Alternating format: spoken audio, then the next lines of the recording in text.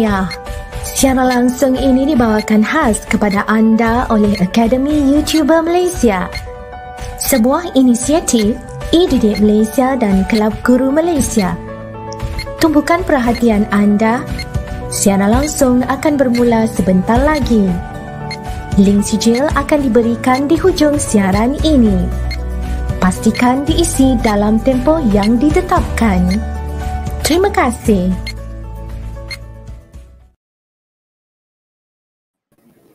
Hello. Hai. Assalamualaikum dan selamat tengah hari.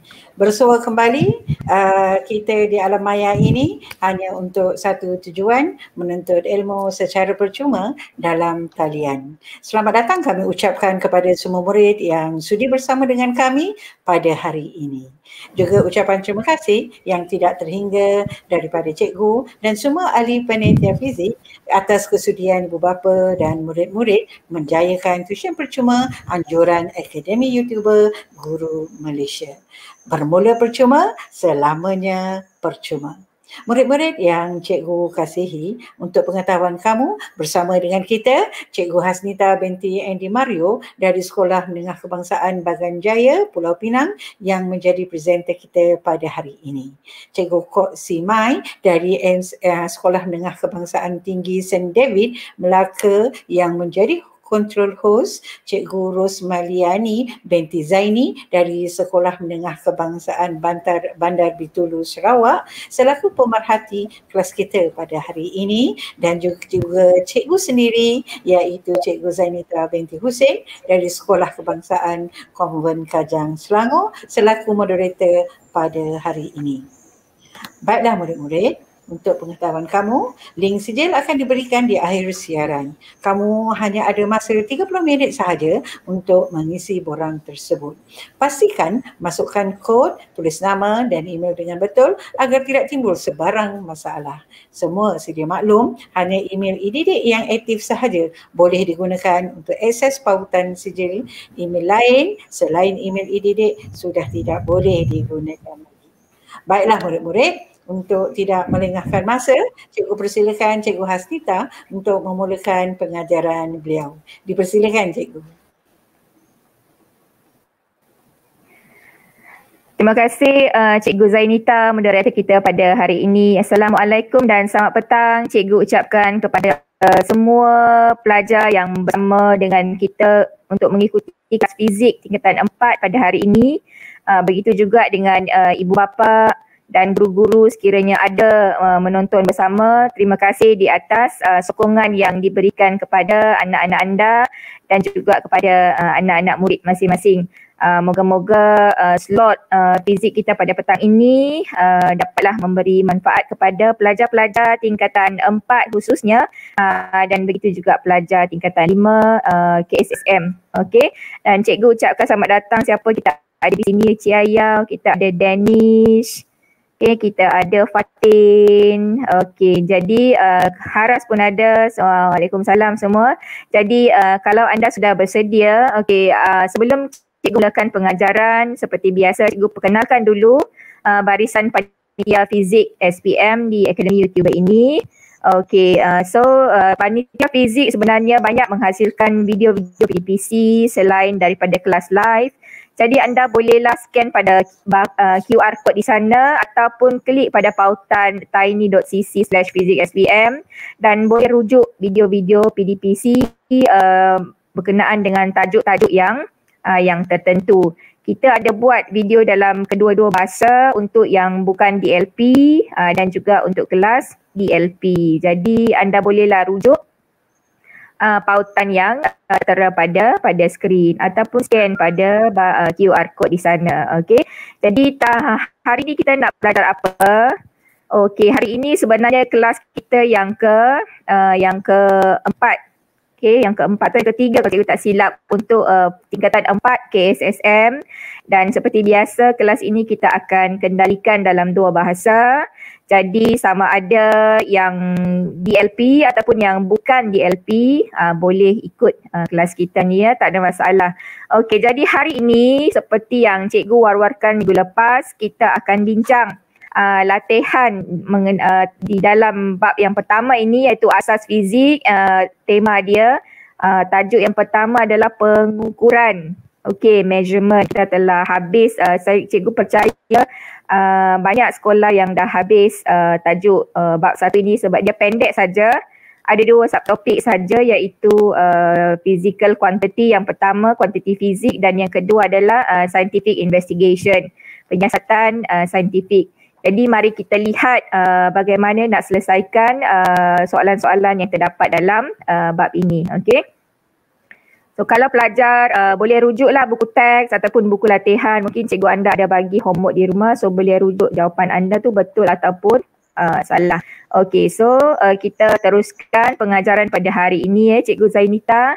Okay pelajar-pelajar okay. boleh rujuk. Uh, you you may refer to your textbook on page 13 for this activity 1.3 ya. Ini adalah aktiviti di dalam buku teks. Uh, muka surat uh, 13. Okay, cuba kita lihat so, uh, di sini. Uh, seorang pelajar Farah, okay, si, uh, soalan untuk aktiviti 1.3 ni cikgu uh, sediakan soalan dia dalam bahasa Inggeris saja sebab cikgu tak sempat nak snap soalan dalam bahasa Melayu. Tapi pelajar jangan risau kerana jawapan dia cikgu sediakan dalam uh, kedua-dua bahasa. Okay, so uh, Farah carried out an experiment to investigate the relationship between force F and extension of spring uh, using the apparatus setup as shown in the figure. So anda boleh lihatlah setup untuk apparatus pada gambar di bawah. Okay, begitu juga dengan uh, jadual di sana, jadual keputusan. Okay, the result of experiment are shown in the table. Jadi anda kena bantu Farah membuat analisis data dan uh, merumuskan hasil siasatan dia. So kalau kamu lihat uh, apparatus di sini, Okay, mula-mula dia gantung satu spring. Okay, ini panjang asal spring, initial length of the spring digantungkan pada kaki retort. Okay, in a retort stand.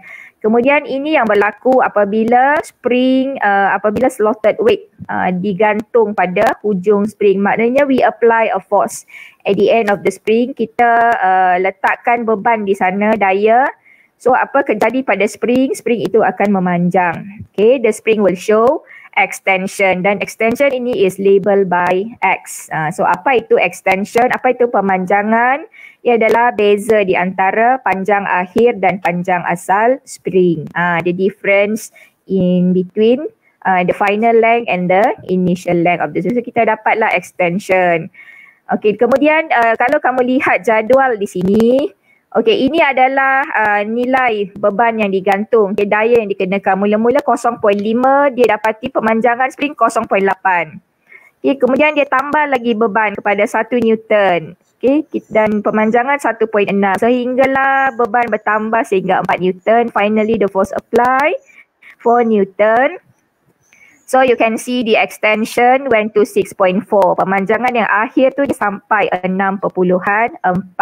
Jadi secara uh, secara umumnya bila kamu lihat jadual ni, bila kamu tengok apabila daya ni bertambah, pemanjangan spring pun turut bertambah. Okay, so, so you can see clearly when the force increases, the extension also increases. Okay, so kita lihat apa soalan yang pertama. Okay, so ini adalah tugasan yang kamu perlu buat dalam aktiviti 1.3, uh, nombor 2 dan nombor 3. Plotkan graf F melawan X. You have to plot a graph of F against X. Dan you have to analyse your graph based on the following aspect from A to F. Uh, kamu kena buat analisis pada graf dan cari kesemua apa yang dikendaki dalam A hingga F. So kita pergi satu persatu. Okay, so ini adalah graf yang cikgu telah plotkan berdasarkan uh, keputusan yang diperoleh oleh Farah. So first question you have to state okay, the relationship between F and X. Okay, pelajar-pelajar cuba anda nyatakan apakah hubungan di antara F dengan X. F itu adalah daya, the force applied. And X itu adalah extension. So bila kamu uh, lukis graf, uh, dia minta kita plot graph F against X. F melawan X. So F itu mestilah pada paksi paksi Y dan X itu mestilah pada paksi uh, X. Okay, so siapa boleh jawab soalan ini? Punitan boleh cuba? Okay, berkadar. Berkadar. berkadar, terus. terus. Aras kata wrong spelling di sana tak apa. Okay, berkadar oh. terus. Okay, dia kata berkadar terus. Okay, uh, ada jawapan lain Benika, tak daripada pelajar? Ada juga boleh typekan jawapan dalam uh, dalam bahasa Inggeris. Uh, okay, Zulkarnain pun kata berkadar terus. Uh-huh. Okay, dia tanya, hub, uh, dia tanya hubungan, relationship. Uh, kita hmm. telah belajar dalam topik 1.2 hari tu. Ada uh, enam hubungan graf yang kita dah belajar on that topik 1.6. Berkadar terus, berkadar songsang, uh, meningkat secara linear, mening- uh, ber, uh, berkurang secara linear, meningkat ataupun uh, berkurang. So untuk graf ini, dia kamu kena tengok bentuk graf. Dia adalah garis lurus yang pertama. Kemudian dia ada uh, kecerunan yang positif, positive gradient. Okay, so first dia straight line, graf garis lurus, kemudian dia ada kecerunan positif, dia meningkat. Okay, positive gradient. Yang ketiga dia melalui asalan. Uh, the graph line pass through the origin. Uh, so ini tiga clue yang kamu boleh lihat. So by this uh, hubungan dia adalah berkadar terus ataupun berkadar langsung. Ha, kita boleh tuliskan F berkadar terus ataupun F berkadar langsung dengan X. In English we say F is aha. Amma yang jawab betul. jawab tu directly aha. apa proportional directly tu? proportional. Yes. So we say F ha. is directly proportional to Anda. X. Ha, janganlah tulis directly proportional saja tulis in proper word. F is directly proportional to X. F berkadar terus dengan X ataupun berkadar langsung dengan X. Okey, yang ini senang saja. Okey, kita pergi soalan yang kedua.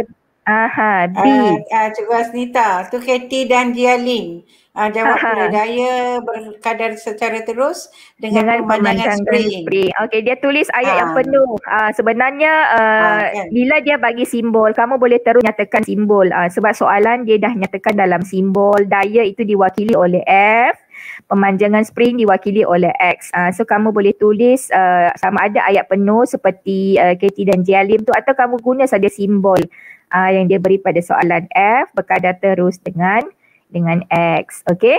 Okay, kita tengok B pula. Macam mana nak kira kecerunan? How to find the uh, the gradient of the graph. Plus you have to show, kamu kena tunjukkan bagaimana kamu dapat gradient. Ah, yang ini pun kamu dah belajar bagaimana kita tentukan kecerunan daripada daripada graf. Okay, so macam mana kita cikgu, nak Cikgu Asmita ya? tu ada soalan. Uh, cikgu, Aha. apa beza laju dengan hal laju? Laju dengan hal laju. Okay, Punitan. Okay, laju itu laju itu speed kalau dalam bahasa Inggeris dia. Okay, hal laju pula adalah velocity. Okay, perbezaan yang pertama, laju itu dia adalah skala kuantiti. Uh, kuantiti skala. Maksudnya dia ada dia ada magnitude tapi tak ada arah. Uh, manakala velocity pula, hal laju dia adalah vektor. Uh, dia ada kedua-dua, magnitude dan arah. Okay, satu lagi formula dia bagaimana kita kira laju. Laju ialah uh, distance divide time. Jarak bahagi dengan masa. Okey, manakala hal laju bagaimana kita kira sesaran bahagi dengan masa displacement divide time. Uh, so kalau kita tuliskan maksud dia laju itu maksud dia uh, rate of change of distance. Manakala hal laju pula rate of change of displacement. Uh, okay, so laju itu kadar perubahan uh, jarak. Manakala uh, hal laju adalah uh, kadar perubahan sesaran. Okey, so cikgu harap menjawab eh soalan Punitan. Okey, so kita balik kepada graf ini. Bagaimana kita nak tentukan gradient kecerunan? Senang saja. Kamu tengok graf yang kamu lukis tadi. Okey, dan kamu ambil mana-mana dua titik. You can take any two point along the line. Contoh di sini cikgu ambil dua titik. Titik pertama di sini. Titik 0.8, 0.5. Okey dan titik yang kedua cikgu ambil di atas ni. Ini my second point. Cikgu ambil 6.4, 4.0. Uh, so apa formula untuk kecerunan? Uh, ini pun telah belajar. Okay, what is the formula for gradient? Okay, gradient adalah y2 minus y1 divide x2 minus x1. Ini nak cari gradient kecerunan. Dan kamu gantikan saja nilai. Okay, you masukkan saja nilai yang you dah tanda tadi. So ini Y2 4, Y1 0.5 di bawah and then bagikan dengan X. X2 minus X1. So kamu akan dapat 0.625 Newton per centimeter. Ini adalah gradient. Tuliskan bersama dengan unit. Y ini unit dia Newton for force, uh, extension unit dia dalam centimeter. Okay. Uh, so ini nak cari kecerunan atau gradient. Kemudian macam mana kita tunjuk? Uh, jangan lupa di sini dia kena tunjuk. So bila kamu tunjuk, maksudnya kita kena lukis you have to show your triangle. Ah, kena tunjukkan segitiga yang menyambungkan kedua-dua titik ini. Ah, so you must show a triangle which connect these two points. So kamu boleh lihat ah, ini adalah segitiga yang cikgu lukiskan. Okay, the triangle to show where we get, how we get the gradient. Ah, kena tunjuk uh, triangle ni. Kalau dia tak tunjuk, kita akan dapat markah untuk kecerunan. Okay. Okay, so kita pergi pula soalan C. Okay, dia bagi kamu satu formula persamaan yang menghubungkan F dan X. Uh, F equal to KX. Okay, dan dia minta kamu tentukan uh, value of K ini dalam SI unit. Dia kata di sini K ialah pemalar daya bagi spring. Uh, spring constant kita panggil dalam bahasa Inggeris. Uh, siapa tahu apa maksud pemalar daya spring tu boleh share tak jawapan? apa maksud what is the meaning of spring constant uh, boleh type dekat ruangan chat so apa formula untuk spring constant? Kalau kamu tengok formula ini spring constant tadi dia adalah gradient. Okey unit dia adalah uh, daripada b tadi kita dah kira gradient uh, which is also the spring constant 0.625 newton per centimeter tadi kita dah kira kecerunan di mana kecerunan juga adalah sebenarnya pemalar daya spring. So ini macam mana nak tukar. Okay atas ni uh, daya. Daya unit dia Newton. Okay atas ni dah tak ada masalah lah. Newton unit S, uh, daya unit SI dia Newton. SI unit for force is Newton. Tapi you tengok yang bawah ni. Bawah ni pemanjangan extension. Extension ni dia mewakili length. Okay it represent length mewakili panjang. Apa SI unit untuk panjang? What is a SI unit for uh, length? Mestilah dalam meter. Okay, so kita kena tukar cm ini kepada meter. So how to convert centimeter into meter? Uh, so macam mana nak tukar cm ni kepada meter? Uh, kita gunalah ini conversion of unit, pertukaran unit. 1 cm sama dengan 10 kuasa negatif 2 meter ataupun 0.01 meter. Uh, so kita bahagikan uh, 0.625 bahagi 0.01 ataupun bagi dengan 10 uh, power of negative 2. So kamu akan dapat uh, nilai dalam Newton per meter. Okay, dalam Newton per meter 62.5 Newton per meter. Okay. Uh, so ini semua conversion of unit lah. Okay. So kita dapat 62 point ni. Ada yang jawab tadi eh apa maksud uh, spring constant pemalar daya spring? Uh, spring constant ni dia satu nilai yang menunjukkan uh, the stiffness kekerasan spring itu the hardness. Uh, kalau pemalar dia tinggi maksudnya spring itu dia stiffer. Uh, spring itu dia spring yang spring yang keras uh, kita katakan. Kalau pemalar constant dia tu nilai dia kecil maksud dia spring tu adalah spring yang lembut uh, a soft a soft spring. Uh, so pemalar constant tu dia mewakili uh, kekerasan uh, spring Okay. Uh, Cik, uh, Cikgu Aslita, yeah. uh, ni Haras yeah. ada jawab ni. Uh, spring Aha. constant is uh, the force divided by the extension. Ah uh, itu formula dia bagaimana kita kira tapi ha. maksud dia uh, maksud dia kita kena kita boleh tuliskanlah definition dia uh, mengikut perkataan iaitu uh, a value atau a, a constant which uh, represent the stiffness ataupun the hardness of a of a spring. Okay bagus Haras. Okay sekarang kita pergi soalan D. Okey, soalan D dia tanya kamu luas di bawah graf mewakili kerja yang dilakukan untuk meregang spring. Tentukan kerja yang diperlukan untuk meregang spring sebanyak 5 cm. So area under graph represent how much work done in stretching the spring. Okay, and then you have to determine how uh, much work needed to stretch uh, to stretch the spring by 5 cm. So kerja yang kita lakukan untuk sama ada untuk uh, menarik ataupun memampatkan spring uh, dia sama juga dengan uh, daya uh, elastik uh, tenaga elastik uh, yang diperoleh uh, yang dipunyai oleh spring uh, tenaga keupayaan elastik elastic potential energy of the spring. So macam mana kita nak kira? Dia kata area under graph. So kamu kena tengok di manakah X 5 cm. Kamu tandakan. Okay, cikgu tandakan di sana kalau boleh lihat. Okay, ini adalah extension 5 cm. So saya buat satu garisan sampai uh, ke garisan graf itu. You draw a line from there uh, sampai dia menyentuh garisan graf. Dan kita shade, we shade that area. Kita kita uh, tandakan area tu.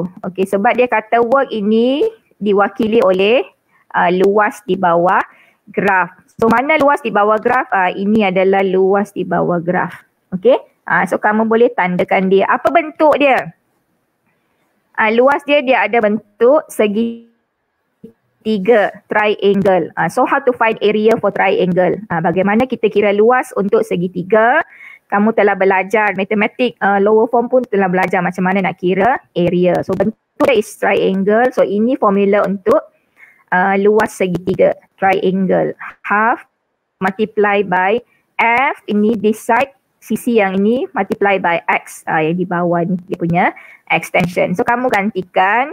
So f is 3.1 newton. Kalau kamu lihat di sini bila pemanjangan dia 5 uh, force dia yang diperlukan adalah 3.1 newton. Uh, dia perlukan uh, daya sebanyak ini untuk memanjangkan spring sebanyak 5 cm Okay, satu lagi yang kamu kena perhatikan, kenapa cikgu guna 0.05 m di sini? Kenapa tak guna saja 5 cm? Kerana kerja ini kalau kamu ingat uh, di bab satu dulu, uh, 1.1 physical quantity, quantity fizik, kerja kita ukur dalam unit apa? Newton meter. Unit SI dia Newton meter ataupun joule. Uh, sebab itu kamu kena tukar 5 cm itu kepada meter. Uh, kena tahu unit untuk kerja itu dalam SI unit apa? Newton meter. Okay. Dan Newton meter juga sama dengan joule. Uh, joule ini adalah specific unit untuk uh, kerja. Okay. Uh, so kena kena hati-hatilah dekat sini. Kalau kamu tak tukar, uh, you may come out with the wrong answer. So jawapan dia, uh, ramai yang dapat jawapan betul ni Cikgu Zainita.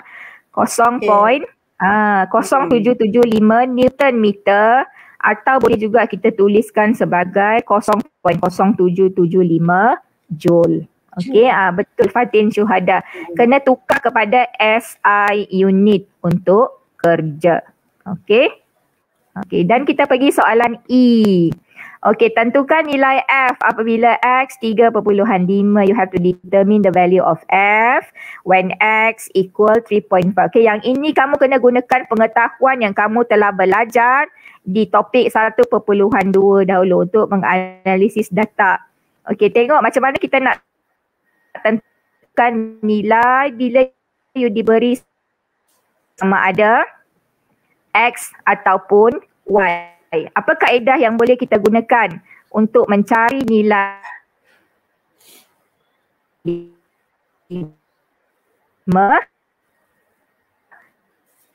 nama dia adalah interpolation, interpolasi graf. Okay, kita buat graf interpolation. How? Bagaimana? Kamu tengok di mana X 3.5. So tengok pada graf ni, ini adalah di mana X 3.5. So you draw a line, lukiskan satu garisan. Okay, then ini adalah F yang berkenaan. You akan dapat F is 2.2 Newton from interpolation. Uh, daripada interpolasi apabila X 3.5, uh, F adalah 2.2 Newton. Okay, senang saja. Okay, kamu tengok line merah tu, uh, you plot saja akan dapat. So answer dia 2.2 Newton. Jawapan dia 2.2 Newton. Okay. Okay, then soalan yang terakhir F. Okay, now you have to predict. Ah, kamu kena ramalkan nilai X apabila F 5.0. Okay, bila kita nak buat ramalan, apa kaedah yang kita gunakan? Ah, ini pun kita dah belajar dalam topik 1.2. We have learned this before in uh, subtopic 1.2 prediction. So prediction can be done by doing extrapolation. Uh, graph extrapolation. Kita buat ekstrapolasi graph. Kenapa perlu extrapolate? Extrapolate maksudnya kita kena panjangkan garisan graph. Okay, we have to extend the graph line uh, sampai kita jumpa the desired value. Tengok di mana F 5 Newton. Okay, F 5 Newton kalau you lihat berada di atas sana. Okay, garisan graf awalnya tadi sampai sini saja, sampai the last point. So kita kena panjangkan. Okay, so kita panjangkan daripada titik akhir tu kita panjangkan guna pembaris. Uh, make sure you use a ruler, panjangkan dia. Okay, sampailah dia boleh mencecah F 5 Newton. Okay, dan daripada sana kamu buat uh, ini kita panjangkan dulu graf ini we extend the graph line kemudian kita gariskan daripada F 5 Newton sehinggalah ke uh, graf yang kita dah panjangkan tadi to the extended line. And then from there uh, kita gariskan ke X. Uh, we draw a line straight down the X. Axis. Berapa nilai yang kamu dapat di sini? Yang kamu dapat lihat 8.0 centimeter, 8.0 centimeter. So from this, uh, we have determined when F is 5 Newton, so it will give an extension of 8 centimeter. Uh, bila F 5 Newton, pemanjangan adalah 8 centimeter. Okay, senang saja untuk soalan ini. Okay. So, uh, itu adalah uh, jawapan untuk 1.3. Okay, so yang seterusnya kita pergi kepada latihan formatif 1.2. So bagaimana pelajar-pelajar aktiviti 1.3? Cikgu harap kamu dapat lengkapkan okay, uh, latihan kamu. Okay, dia tak susah sebenarnya. Okay, sebelum kita uh, pergi kepada soalan seterusnya, okay, Cikgu Zainita apa kata kita berehat sebentar? Okay. Boleh ya? Online percuma. Layari www.academyyoutuber bagi mengikuti tuition online secara percuma. Prasekolah, sekolah rendah, sekolah menengah, semua ada di Akademi YouTuber. Rujuk jadual di laman sesawang www.academyyoutuber.com. Semoga masa terluang anak-anak anda diisi dengan sebaiknya. Tuition online percuma mestilah Akademi YouTuber.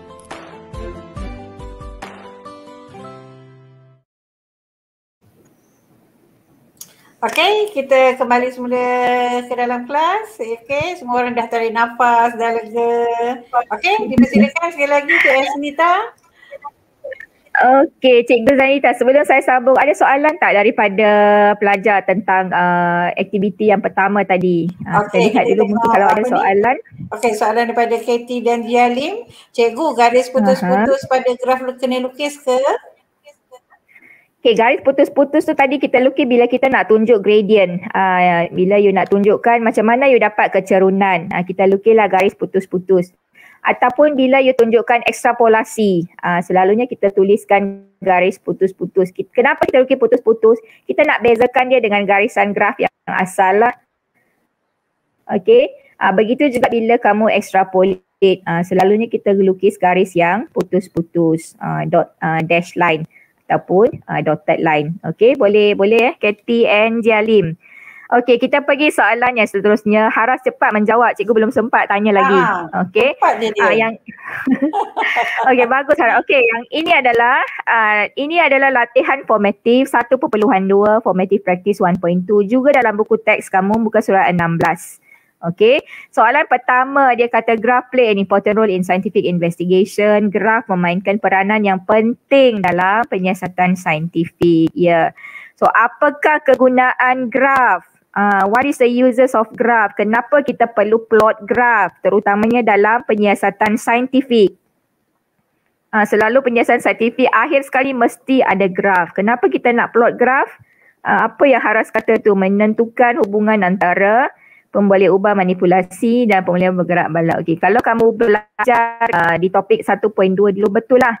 Okay, it is to, to determine the relationship between the two variable uh, from the data collected in a scientific investigation. Uh, dua variable itu MV and RV. Kita nak tentukan apakah hubungan di antara uh, dua pemboleh ubah uh, daripada data yang kita kumpul dalam penyiasatan saintifik. Uh, apa kaitan antara pemboleh ubah manipulasi dan pemboleh ubah yang bergerak balas. Okey.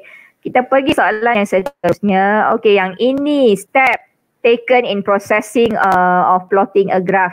Apa perkara yang utama bila kamu nak plot graph? Uh, macam mana kamu nak mula? Where to begin from? Uh, so bila kamu dapat data, apa yang perlu kamu buat dulu sebelum kamu plotkan uh, graph? Okay, uh, sebelum tu cikgu minta maaf mungkin line internet kita tak berapa uh, tak berapa hmm. jelas petang ini ya cikgu Zainita kadang-kadang kita ya. putus-putus sikit. Ada putus-putus tu. Uh, tapi cikgu harap pelajar dapat dapat mengikuti lah. Kalau ada part yang anda tertinggal nanti anda boleh rujuk semula uh, video ini uh, dan kita lihat. Okay, uh, Danish kata garis okay, penyesuaian. Ha, ha, dia kata apa tu? Garisan, garisan penyesuaian terbaik. Terbaik. Uh, itu dah sampai ha. akhir dah tu. Nak mula dulu Danish. Nak mula macam mana tu sebelum lukis garisan? Ah, sabar dulu Danish. Ah, apa dulu. langkah pertama? Ah, langkah pertama kamu kenalah bila kamu dapat data daripada uh, uh, eksperimen yang kita jalankan, kenal pasti dulu pemboleh ubah. Ah, yang mana MV, yang manakah RV. Ah, ni kena kenal dulu. Kemudian tengok nilai yang ada. Ah, tentukan julat pemboleh, pemboleh ubah. Tengok nilai dia tu besar ke kecil ke kenapa kita kena tentukan sebab nanti kamu boleh pilih skala yang sesuai kamu nak gunakan okey uh, okay, kena jawab tu uh-huh. kedudukan paksi mesti tepat Ha, kedudukan paksi. Ha, kena tahu kedudukan paksi sebab tu kena tahu mana satu MV, mana satu RV. Okey, lepas tu step yang ketiga, uh, baru kita tentukan apa skala yang sesuai kita gunakan supaya data kita tu semua boleh masuk dalam graf tu. Uh, dan skala ni dia ada cara.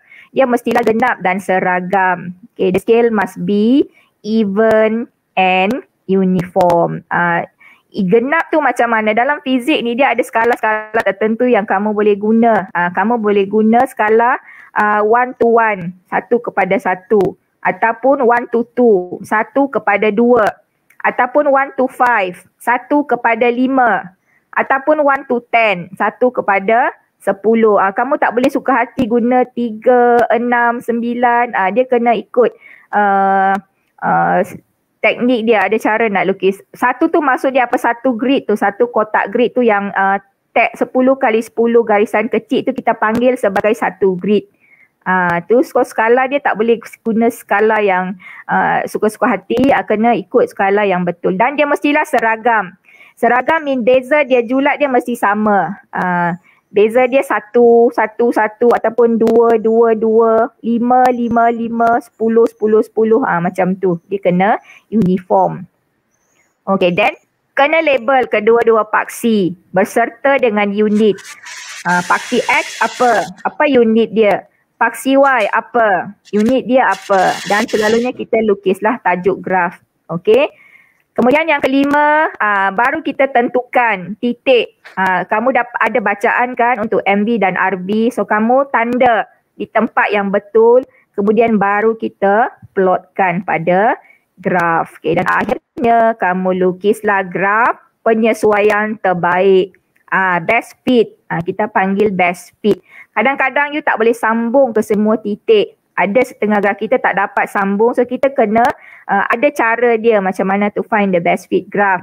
Okay, perlu sambung uh, paling banyak titik dan yang selebihnya tu kita kena bagi dia balance atas dan bawah garisan. Uh, itu adalah best fit dan mestilah garis lurus. Uh, garis lurus yang yang terbaik. Dalam fizik ni kita banyak deal dengan garis lurus.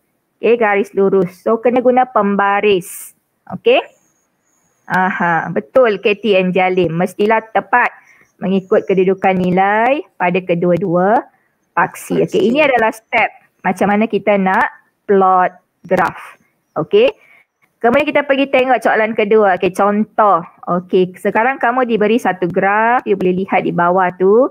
Graf ini menunjukkan graf yang dihasilkan dalam satu kajian yang menyiasat hubungan, sorry ada wrong spelling di sana, hubungan antara isi padu V dengan suhu uh, theta. So isi padu itu diwakili oleh simbol V, suhu diwakili oleh simbol uh, theta.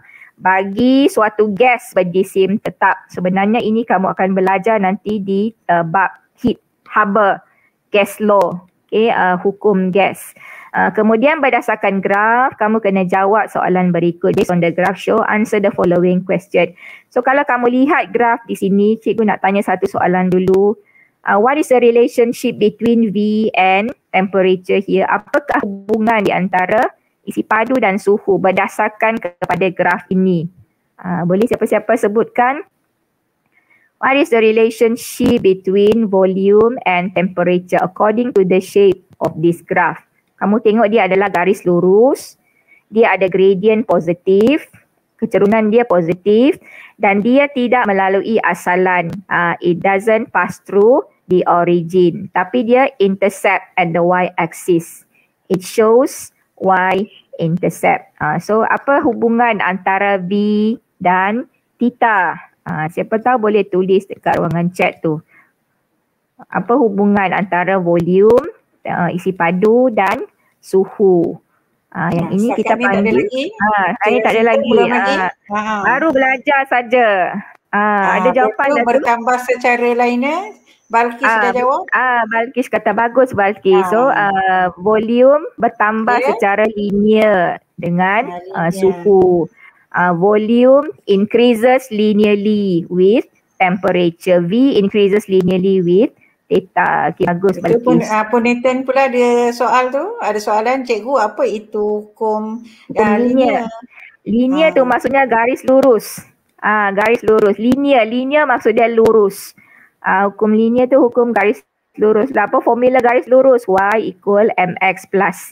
Ah uh, kamu belajar juga dalam matematik kan persamaan garis lurus. Uh, linear equation. Uh, okay. Kemudian dia tanya apa yang berlaku kepada V apabila theta bertambah. Ha, tadi Balkis dah jawab hubungan dia uh, meningkat atau bertambah secara linear. So maksud dia kamu lihat graf ni bila temperature meningkat, uh, volume pun akan meningkat. So kita tulislah uh, dia adalah, uh, ini sebenarnya tu cikgu tambahlah di sini.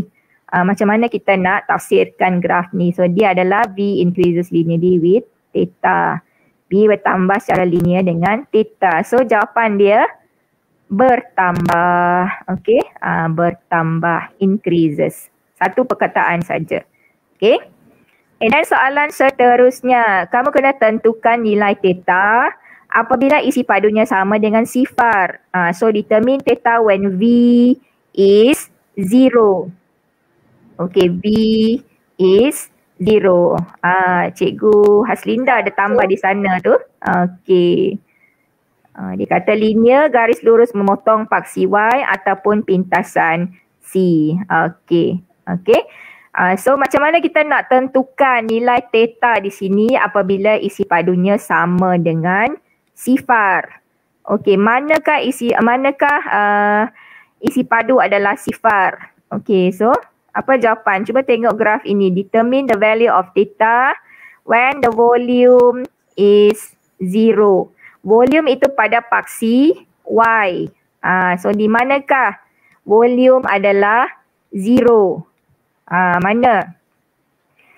Pada graf kamu tak nampak kan dia tak dia tak tunjuk volume adalah zero berapa bacaan untuk uh, suhu temperature. So apa kaedah yang perlu kita gunakan di sini?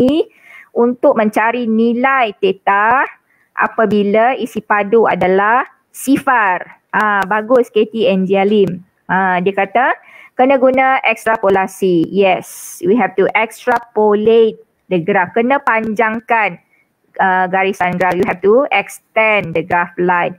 Ah ini cara kita buat ekstrapolasi. Sekali lagi kita lukiskan garis lurus. Okay, now sekarang kamu boleh baca berapa suhu apabila volume adalah sifar. Bila isi padu adalah sifar. So dia adalah in between betul-betul di antara negatif 200 dengan negatif 300. Uh, so daripada ni kita boleh tahu temperature dia, suhu dia adalah uh, yang ini ditunjukkan pada anak panah ni. Uh, 250, negatif 250 darjah Celsius. Okay, kaedah dia extrapolasi. Graph extrapolation. Uh, so we write theta is negative 250 degree Celsius. Senang saja. Okay. Okay, soalan seterusnya Cikgu Zainita. Okay, now dia tanya pula. Hmm. Ha ha bagus ni kan. Negatif 20. So Ha, unit dia Paras, jangan lupa. Ha ha. Unit dia Bagus. uh, unit dia jangan lupa ya degree Celsius, darjah Celsius. Okey, tengok pula C. Sekarang kamu kena tentukan apakah isi padu apabila suhu 300 darjah Celsius. Uh, tunjukkan bagaimana kamu dapat nilai V. Show on graph how you determine this volume. Okey, tadi kita dah lukis, kita dah buat uh, extrapolation, kita dah panjangkan graf kita sampai atas ni. So un- untuk kita nak cari nilai V ini, apa kaedah yang kamu boleh guna pula di sini? Uh, so you tengok pada graf mana temperature 300. Uh, tengok di sini. Uh, ini adalah suhu 300. So kita nak tahu berapa nilai isi padu di sini. So apa kaedah yang kita gunakan? Uh, sini you boleh buat interpolasi graf. Okay, graph interpolation. Okay, graph interpolation. Tadi kalau kamu sambung sampai sini saja, Min yang ini pun you kena buat eh, extrapolation lah. Tapi tadi cikgu dah lukis siap-siap dia panjang. So now for question C, uh, saya buat uh, inter interpolasi graph. So cikgu gariskan di mana suhu 300, where the temperature 300. Okay, then cikgu sambungkan pada paksi Y, y axis. So boleh baca tak reading di sini berapa isi padu? Uh, what is the value for volume when temperature theta is 300? Uh, so from here we can see it is uh, 22 centimeter cube, uh, tu- uh, 22 centimeter padu. Okay, senang saja. Uh, tulis nilai dia. Ah, 22. Bagus Balkis. 22 uh, cubic centimeter, centimeter cube. Okey. Kepada yang baru menyertai, selamat datang. Okey, sekarang kita bincangkan uh, formative practice uh, 1.2 dalam buku teks kamu muka surat 16. Okey, boleh rujuk di sana. Okey, so itu saja untuk uh, formative practice 1.2. Okey, cikgu saya ini akan kita sambung pula. Okay, jom Ah, cuba. ada satu, aha.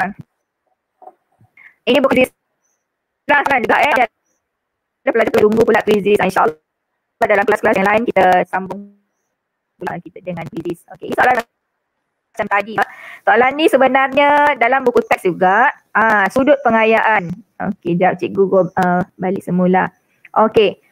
Uh, enrichment mana? Okey, so ini surat 22 kalau cikgu tak silap in your textbook. Page 22. Okey, ada satu soalan ini soalan nombor 9 kalau cikgu tak silap eh sudut pengayaan uh, seorang perlu. Okey, kita tengok apa situasi yang diberi. Soalan dia agak anjang. Yang soalan soalan kebat ni Kak uh, Cikgu Zainita, Kak Zainita uh, dia panjang sikit. Dia akan bagi satu statement. Uh, dia nak latih pelajar baca sebenarnya. Yang pertama membaca Baca Maklumat. Okay. Betul. Uh, baca maklumat dan daripada sana nak ajak pelajar macam mana kita nak extract the information. Macam mana kita nak keluarkan maklumat penting Maklumat ada? dia- pada soalan. Yes. Mhm. Okay. Uh, Katie jadi kata suara bergema lag, uh, lag Ya. uh, Katie jadi mungkin uh, Ah, suara pecah-pecah. ada, uh, ada gangguan uh, talian kot di tempat saya ni. Okay. Uh, so Mhm. kita ada seorang pemandu uh, beliau ingin tahu penggunaan petrol oleh enjin kereta bagi setiap satu uh, bagi setiap uh, satu kilometer uh, untuk perjalanan sejauh 300 kilometer pada kelajuan uh, malar. Okay, dia kata consumption per kilometer of a car in a journey of 300 kilometer at constant speed. Okay, kemudian dia kata dia pasang satu alat mengukur isi padu petrol uh, dalam kereta untuk mencatatkan bacaan baki isi padu petrol bagi setiap jarak 10 km daripada titik permulaan. So maksudnya setiap kali dia dah 10 km, uh, alat tu akan baca berapa uh, berapakah petrol yang tinggal dalam tangki. Okey, itu itu uh, apa maklumat kita diberikan. He install measuring device to record the remaining volume of petrol at every 50 km interval from the starting point. Uh, so ini adalah pergerakan kereta tu. Kosong kilometer ni sebelum dia bermula lah. Kemudian ini uh, 50 km yang pertama sehinggalah dia sampai kepada 300 km destinasi yang uh, terakhir. Okey, kita lihat Apa soalan dia? Okey, ini adalah bacaan yang ditunjukkan oleh alat yang dipasang oleh pemandu tadi. Okey, 50 km pertama minyak dalam tangki ada lagi 40 liter. Okey. Dan serat, lepas tu 100 km ada tinggal 34. Uh, minyak mestilah berkurang bila kita jalan eh, kita guna minyak uh, dia akan berkurang. Pada jarak 150 km uh, minyak dah turun kepada 28 liter. Sampailah yang ke 300 akhirnya dalam tangki tu tinggal 9 liter sahaja. Okey, uh, tinggal 9 liter sahaja. Okey, dia kata di sini masalah dia pemandu tadi dia lupa nak catat isi padu awal sebelum dia mulakan perjalanan. Uh, sebelum dia start engine tu dia lupa nak check uh, berapa minyak yang ada dalam tangki pada masa itu. Uh, the driver forgot to record the initial volume before uh, he started uh, travel sebelum dia mula bergerak. Uh, so bagaimana kita nak bantu dia menganggarkan berapakah uh, isi padu minyak dalam tangki sebelum dia memulakan perjalanan. Okey, bagaimana nak bantu driver ini, pelajar-pelajar? Boleh fikir tak how to help this driver to estimate uh, the volume of petrol at the starting point of his journey. Dia lupa nak record. Uh, so sebenarnya keyword dia ada di sana. Menganggarkan. To estimate. Okay, selalu bila kita nak estimate, nak menganggarkan, apakah kaedah yang kita gunakan? Uh, kita gunakan kaedah ekstrapolasi. Okay, uh, extrapolation graph extrapolation. Ha, kita gunakan kaedah extrapolasi graph. Maksud dia kamu kena lukis dululah ha, graph dia tu.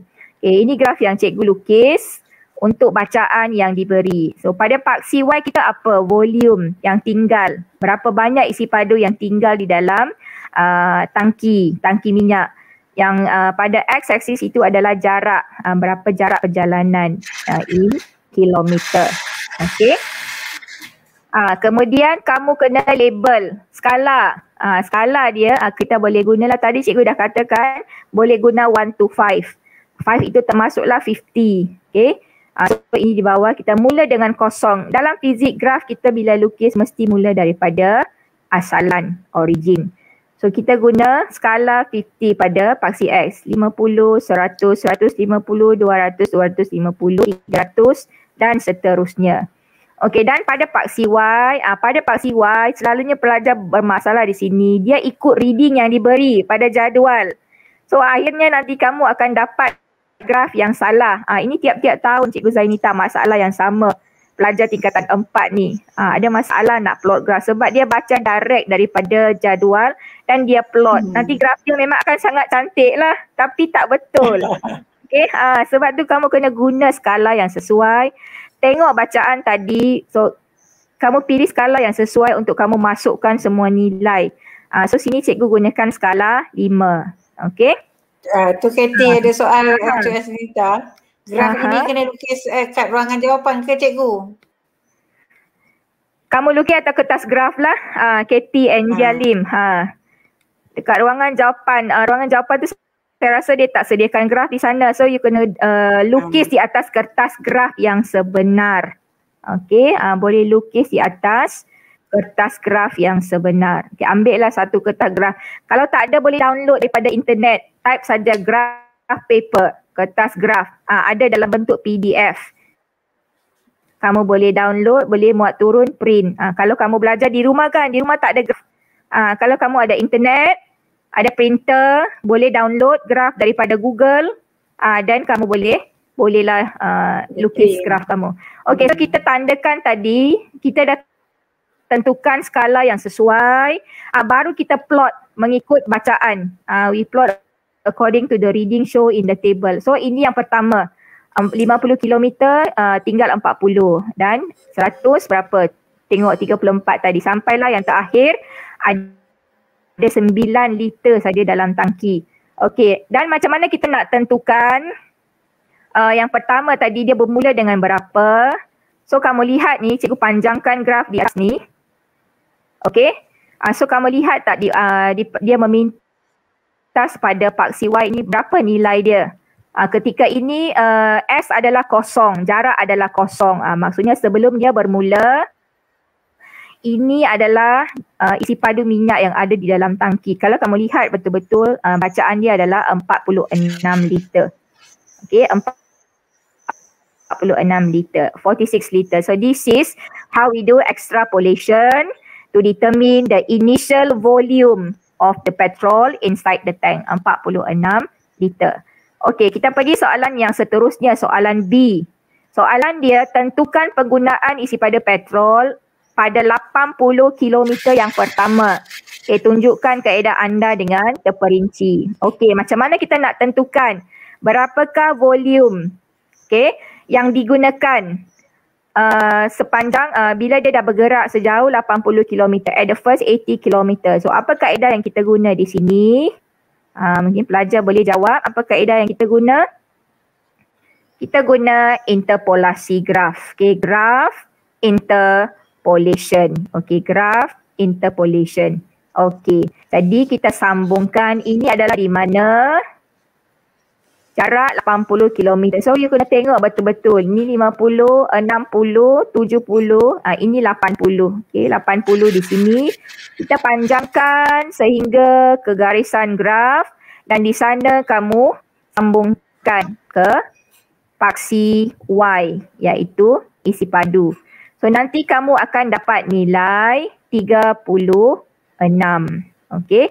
Ingat ya, uh, interpolasi adalah kaedah yang kita gunakan untuk mencari sesuatu nilai sama ada X ataupun Y apabila diberi satu nilai yang lain. Uh, contohnya dia bagi X, kita boleh cari Y ataupun dia bagi Y. So kita boleh cari berapakah X melalui uh, interpolasi. Kalau ekstrapolasi kita untuk ramalkan uh, apakah nilai apabila diberi satu uh, nilai sama ada X atau Y di mana kamu perlu panjangkan graf asal. Nah, itu beza interpolasi dengan ekstrapolasi. Okey, so kita tuliskanlah. Okey, kamu jangan tulis 36 sebab dia tak tanya berapa yang tinggal, dia tanya berapa yang kamu dah guna. Okay, at the first 80 kilometer. So awal tadi 46. So kamu dah guna 36 uh, yang tinggal dalam tangki 36 maksudnya berapa banyak dia dah guna uh, pada 80 km yang pertama 10 liter. Okey jawapan dia 10 liter. Uh, jangan tulis 36 pula eh. Uh, ini satu lagi pelajar boleh careless mistake di sini. Dia gopoh. Jawab soalan nanti dia dapat 36 dah dia tulis di sana 36. Sedangkan soalan tanya berapa banyak yang dia telah gunakan. Ha, kamu kena ingat paksi Y ni adalah berapa yang tinggal di dalam tangki. Ha, so kita kena tolak 46 yang asal, tolak dengan yang tinggal pada 80 km. So akan dapat 10 liter. Okey. Ha, kita pergi soalan C pula. Okey. Ha, betul Cikgu Yani. Masa sangat mengguri kita. Ha, tapi tak apa, kita nak nak habis dah ni dekat-dekat hujung dah. Okey eh. Okey. Okay. So cikgu harap pelajar boleh faham. Okey dan kita tengok C. Okey, jika penggunaan isi pada petrol enjin kereta bagi setiap 50 km dapat dijimatkan sebanyak 10%. Uh, tunjukkan nilai-nilai baru B dan S di dalam sebuah jadual. Uh, yang ini kamu kena uh, buat sedikit pengiraan. Okay, if the petrol consumption for car every 50 kilometer travel can be saved by 10%, you have to show the new values uh, for V for every corresponding S in a table. Uh, maksud dia, tadi dia bagi kamu jadual asal. Okay, dan kamu boleh tengok berapa berapa banyak minyak yang digunakan dalam setiap 50 kilometer. Okay, so macam mana kita nak buat di sini? Okay, ini adalah jadual yang cikgu uh, yang cikgu peroleh uh, yang baru isi padu petrol baru yang tinggal di dalam tangki uh, apabila uh, 10% penjimatan uh, bila kita berjaya uh, mengurangkan penggunaan sebanyak 10%. Okey, macam mana nak come out with this value? How to come out with this value? Macam mana nak dapat nilai ni? Okay, cikgu tunjukkan contoh di atas ni. Okay, ini untuk uh, yang pertama, bacaan yang pertama, uh, 50 km for the first 50 km. Uh, the petrol consumption on the first 50 km. Okay, asalnya dalam tangki tadi kita dapat 46. Okay, sebelum kereta itu mula bergerak daripada uh, extrapolation tadi, extrapolasi. So 50 km pertama yang tinggal dalam tangki kalau kamu tengok jadual yang asal pada A tadi 40. Yang tinggal adalah 40. Maksudnya uh, sebelum penjimatan dia guna minyak sebanyak 6 liter untuk 50 km yang pertama. Okey. Dan bila dia berjaya jimat 10%, dia hanya menggunakan 5.4 liter sahaja. Ah ini matematik. Okay, bila dia save 10%, maksudnya uh, dia guna 5.4 liter saja berbanding 6 liter kalau tak ada penjimatan. Okay, uh, so dia save 0.6 liter di sana. Okay, kemudian macam mana kita nak kira berapakah yang tinggal di dalam tangki? Okay, so kita tolak lah. Asalnya 46, tolak dengan uh, berapa uh, berapa banyak yang dia gunakan setelah dia berjaya jimat 10%. So yang tinggal adalah 40.6 liter. Uh, maksudnya lebih banyak lah daripada kalau tak ada penjimatan tinggal 40 saja dalam tangki. Tapi setelah berjaya menjimatkan 10%, uh, dalam tangki tu masih ada 40.6, 40.6. Okey. Cikgu tunjuk lagi satu contoh uh, yang kedua pula. Macam mana dapat 35.2? Uh, kita guna kaedah yang sama. Okey, tadi yang tinggal uh, 40. Uh, ini yang asal sebelum penjimatan. Okey, kalau kamu tengok jadual pada A dan uh, 100 km tu yang tinggal dalam tangki 34. Uh, kalau kamu rujuk jadual asal. Maksudnya 100 km tu daripada 50 ke 100 km yang kedua. Uh, dia guna 6 liter juga. Okey. So kalau dia save 10% sama juga uh, daripada 50 ke 100 tu uh, dia guna 5.4 liter juga. Okay, uh, pelajar-pelajar boleh, cikgu harap boleh faham ya yang ini matematik. Uh, this is to play with number. Okay, kemudian macam mana kita nak tentukan berapakah baki selepas 10% penjimatan. Kita tolaklah, uh, tadi di sini yang tinggal 40.6. Okay, daripada yang pertama tadi. So kita tolak dengan uh, berapa yang dia guna. 5.4 daripada 50 ke 100 kilo. So yang tinggal 35.2 liter. Uh, so yang seterusnya kamu boleh guna kaedah yang pertama. Uh, macam mana nak dapat bacaan yang ketiga ni? Uh, so sini nanti kita mula dengan 50 uh, 30 uh, kita mula dengan 35.2 dan kamu tolak dengan berapa minyak yang dia gunakan selepas uh, penjimatan 10%. Uh, so nanti kamu akan come out dengan uh, nilai-nilai uh, empat lagi nilai yang ditunjukkan. Okay. So inilah cara kita nak rekod berapakah isi pada petrol yang tinggal apabila pemandu berjaya menggunakan uh, berjaya menjimatkan 10%. Okey, mungkin pelajar-pelajar boleh fikir macam mana cara kita nak jimatkan penggunaan minyak kereta. Uh, boleh respon tak? uh, Cikgu Zainita. Kadang-kadang kita boleh tanya soalan susulan macam ini uh, supaya mereka boleh fikir.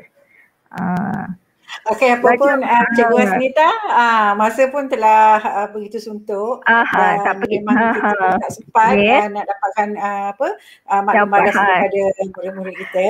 Uh, begitu banyak Aha. ya ilmu yang disampaikan, formula dan juga kaedah-kaedah yang ditunjukkan oleh uh, Cikgu Aha. Hasnita tadi. Apapun terima kasih kepada Cikgu Hasnita atas kesudian beliau Aha. berkongsi ilmu pada hari ini. Ya, semoga Aha. dengan perkongsian ilmu beliau itu tadi dapat memberi impak yang besar buat kita semua. Baik murid-murid yang cikgu kasihi sebagai tanda penghargaan Okay, sebelum tu kita cikgu pergi uh, cikgu, uh, cikgu Zaidita uh, seke- uh, kita tunjuk dulu. Ada satu last part lagi sebenarnya. Uh, yang last dah ni. Uh, soalan terakhir boleh? Satu minit. Uh, satu minit je. Ah, boleh boleh. Okay boleh boleh. Boleh ya? Okay bahagian yang terakhir. Uh, ini yang last ni soalan yang last. Okey, okay. tadi kita dah uh, kita dah tadi plotkan jadual yang baru. Okey, soalan yang akhir ni ada minta kita lukiskan graf B melawan S yang baharu. Okey, so kamu plot lah tadi kamu dah dapat reading. Okey, so cikgu nak bezakan uh, reading yang awal dengan reading yang baru. Yang merah tu yang asal tadi yang kita plot daripada jadual asal. Dan yang titik biru ni uh, yang baru kita plot daripada uh, lepas 10% penjimatan untuk setiap 50 kilometer. So kamu sambung saja cara dia uh, find the best fit. Okay, uh, tengok kalau tengok uh, find the best fit. So yang garis biru itu adalah uh, yang baru kita plotkan selepas penjimatan 10%. Uh, so kita boleh tunjukkanlah. Okey, menunjukkan kita faham kepada soalan ini. Okey, jadi cikgu harap uh, pelajar-pelajar uh, kalau mana ada bahagian yang tertinggal boleh rujuk semula video ini dan bolehlah lengkapkan jawapan uh, latihan kamu untuk uh, ketiga-tiga bahagian yang kita bincang pada hari ini. Ya, okey, cikgu Zainita. kita boleh okey. Okey, itu saja uh-huh. untuk minggu ini. Okey. Baik, uh, cikgu kau boleh masukkan sijil, dah masukkan ya link sijil dalam ruang sembang. Uh, jadi cikgu mohon uh, agar kamu dapat berhenti naik ya dan apa supaya link sijil dapat dilihat ya dan mm-hmm. kod uh, pada hari ini ialah hashtag ya uh, kelas IUDD. Okay, uh, okay. ya hashtag apa kelas IUDD. Baik, terima kasih ya kepada uh, Cikgu Asnita atas uh, kesudian beliau berkongsi ilmu pada hari ini. Ya, dan memang padat ya, memang banyak hmm. formula yang disampaikan. Uh, jadi semoga dengan perkongsian ilmu beliau itu tadi dapat memberi impak yang besar buat kita semua.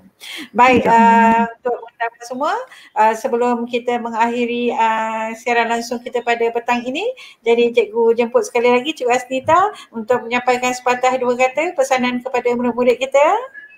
Okey, sedikit saja. Okey, cikgu nak ucapkan uh, syabas dan tahniah kepada pelajar yang berjaya mengikuti kelas kita pada hari ini. Cikgu harap kamu faham uh, dan dapat manfaatkan apa yang cikgu sampaikan tadi dan bolehlah lengkapkan latihan kamu. Dan untuk pelajar DLP sebenarnya cikgu ada uh, hasilkan video uh, PDPC dalam DLP untuk chapter satu ni uh, dah hampir lengkap lah. Uh, kecuali yang part ni nanti uh, insyaAllah pada masa cikgu cuba pula uh, save dalam bentuk video untuk perbincangan dia. Uh, dan pelajar-pelajar yang non-DLP uh, boleh juga manfaatkan video-video lain yang ada di panitia fizik ini.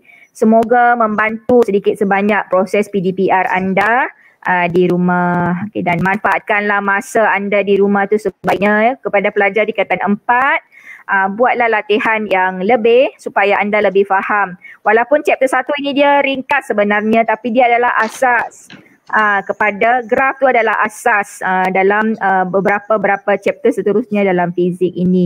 Jadi teruskan bersama dengan uh, panitia fizik di Akademi YouTuber dalam minggu-minggu yang uh, akan datang. Uh, InsyaAllah ada ramai lagi cikgu yang uh, akan uh, bersilih ganti mengajar. Termasuklah cikgu Kop, Cikgu Yani dan masa terdekat kita akan ada Cikgu Nora, Cikgu Izian dan ramai lagi lah termasuklah Cikgu uh, Haslinda dan semualah. Okey, itu saja daripada Cikgu. Uh, mari kepada moderator kita, Cikgu Zainita. Okey, Cikgu Yani ada pesanan yang nak disampaikan? Tahniah dan syabas kepada semua pelajar yang mengikuti dan bersiaran uh, bersiaran bersama kita sehingga ke akhir rancangan dan doa cikgu semoga semua berjaya. Okey, cikgu Kok pula. Uh, cikgu Kok. Uh, sabar kepada belajar lah yang boleh mengikuti uh, setiap minggu ni uh, kelas fizik. Uh, so belajar, selamat belajar. Uh, fizik jelah satu mata pelajar yang sangat berminat dan juga digunakan pada setiap harian kami ada menghadapi masalah juga berkaitan dengan fizik. So fizik is a fun. Okay, thank you the student. Baik, sebelum kita berpisah, cikgu ingin mengucapkan berbanyak-banyak terima kasih kepada semua yang hadir pada hari ini. Ya, uh, kamu boleh melayari pautan www.akademiyoutuber.com untuk mengetahui jadual kelas tuition percuma anjuran Akademi YouTuber Guru Malaysia. Jangan lupa juga subscribe di channel Cikgu Hasnita, Cikgu Yani, Cikgu Kok dan juga Cikgu Zainita kerana ada banyak ilmu yang dapat memberi manfaat kepada kamu semua. Cikgu berharap kamu semua dapat ajak kawan-kawan yang lain untuk sertai kelas tuition percuma Ayu ini. Jangan lepaskan peluang keemasan ini bermula percuma, selamanya percuma.